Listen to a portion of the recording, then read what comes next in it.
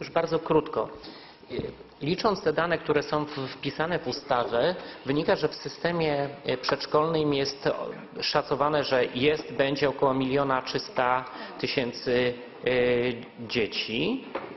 I teraz moje pytanie jest, bo może gdzieś popełniłem ja- jak, jak, jakiś błąd. Jeżeli chcemy, patrząc nawet, że demograficznie będziemy szli w dół, jeżeli chcemy zwiększyć liczbę dzieci w przedszkolach o te z 70 do 90%, albo inaczej, jeżeli samorządy mają zapewnić wszystkim chętnym rodzicom, żeby ich dzieci mogły uczęszczać do przedszkoli, jest pytanie, ile nowych miejsc przedszkolnych Państwo uważacie, że musi w Polsce powstać w samorządach. To znaczy, jeżeli by liczyć w tych proporcjach, no to delikatnie mówiąc jest około 150 tysięcy.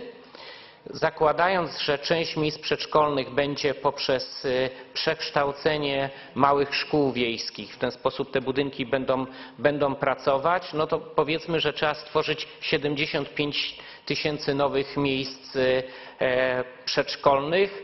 Teraz grube założenie przyjmę, że przedszkole jest czterooddziałowe, czyli dla 100, 100 e, uczniów czy, czy e, setki dzieci, to i koszt takiego przedszkola jest około 6 milionów, no to mam wrażenie, że do 2016 musi być wydane w samorządach na budowę przedszkoli około 5 miliardów e, złotych co najmniej. Tak? To znaczy prosiłbym o odpowiedź, jakie są szacunki tych nakładów inwestycyjnych, tak? bo to oczywiście gdzieś można adaptować budynki szkolne, ale często geografia potrzeb jest y, nie tam, gdzie są budynki. Tak, tak też w duż, dużych miastach się dzieje, że gdyby przedszkola były na kółkach, to byłoby trochę, trochę, łatwiej, a, a trzeba budować tam, gdzie mieszkają ludzie, tam, gdzie, gdzie się g- rozwija e,